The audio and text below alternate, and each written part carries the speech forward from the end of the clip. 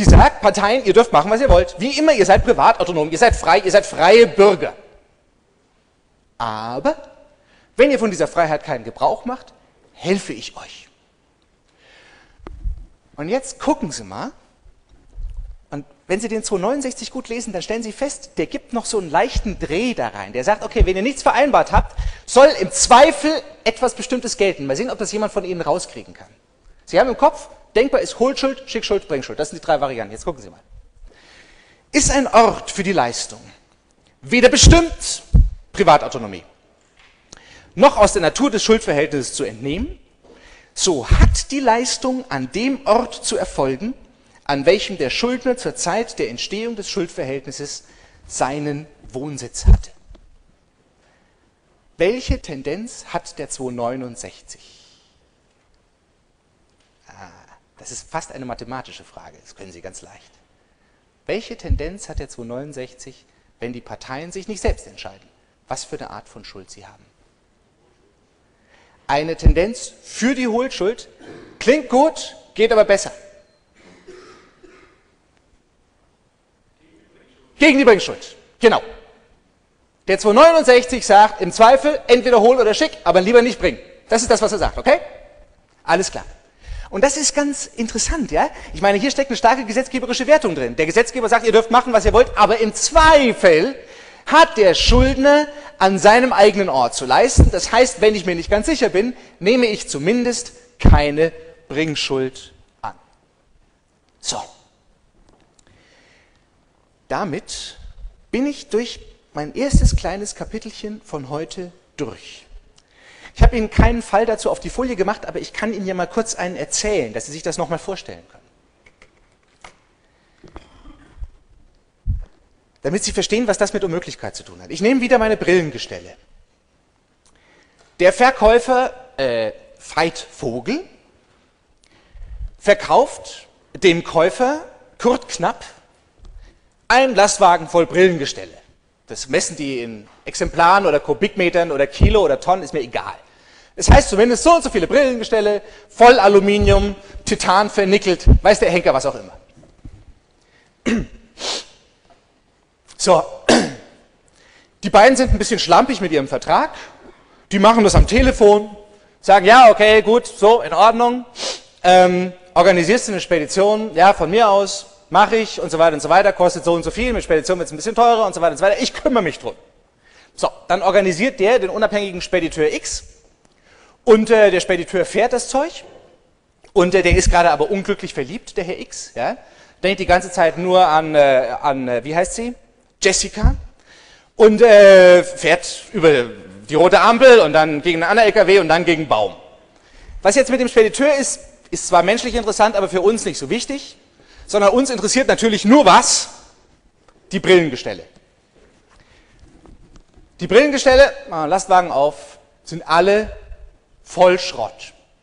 Die gibt es nicht mehr. So. Und jetzt stellt sich, stellt sich eine ganze Reihe von Fragen, aber ich stelle erstmal nur eine einzige. Schuldet der Verkäufer Veit Vogel dem Käufer Kuno Knapp immer noch einen Lastwagen voll Brillengestelle? Der Knapp stellt sich hin und sagt, natürlich, Entschuldigung, wo sind meine Brillengestelle? So. Achtung, ich löse Ihnen den Fall. Erstens, ist dieser Anspruch entstanden? Ja, dieser Anspruch ist mal entstanden, weil nämlich die beiden einen Vertrag miteinander geschlossen haben über einen Lastwagen voll Brillen. Zweitens, vielleicht könnte dieser Anspruch aber wieder erloschen sein. Und jetzt kommen Sie an die Reihe. Nach welcher Vorschrift wäre er denn denkbarerweise, möglicherweise erloschen? Äh, Schweigen im Walde.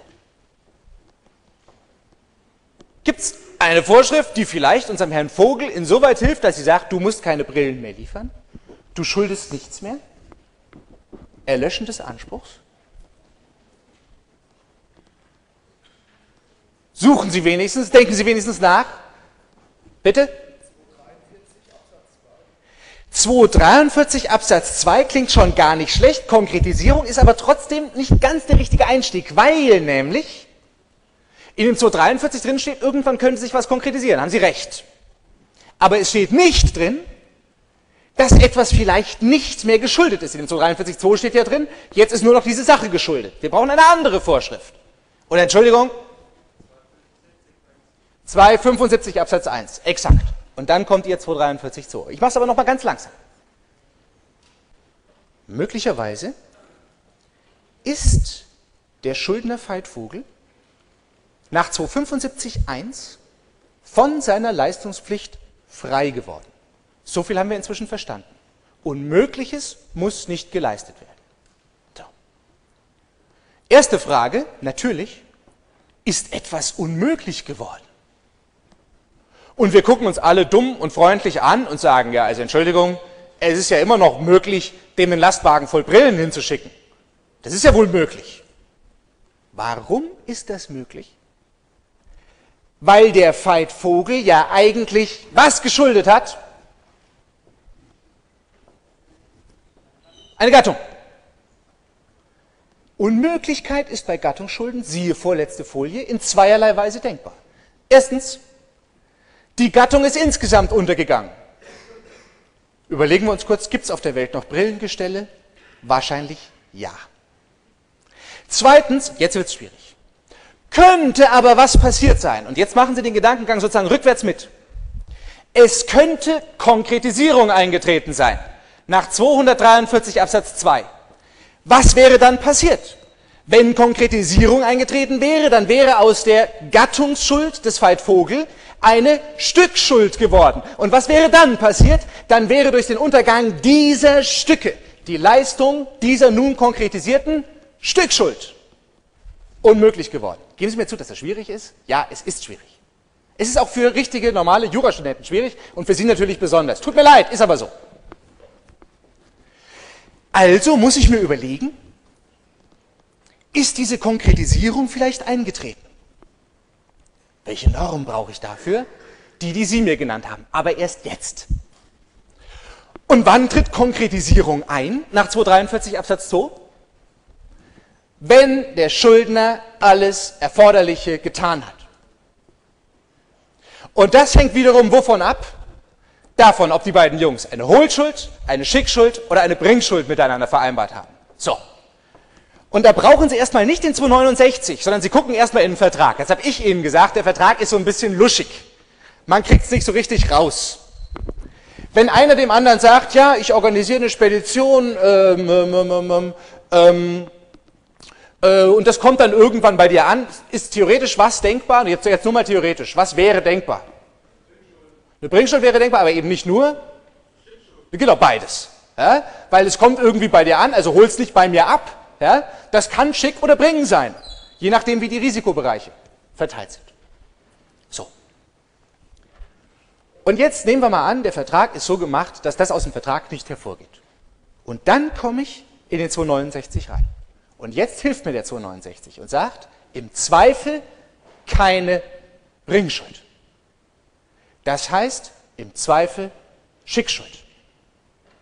Dann soll das hier gelten. Wenn Schickschuld, hat der Schuldner wann alles Erforderliche getan?